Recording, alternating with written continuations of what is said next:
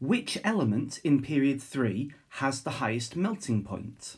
Well, here are the patterns for melting point and boiling point across period 3, with the melting point being the blue line here, and you can see that the one with the highest melting point is silicon, and we just need to check that silicon is one of the options, and it is, it's option B. So B is the correct answer.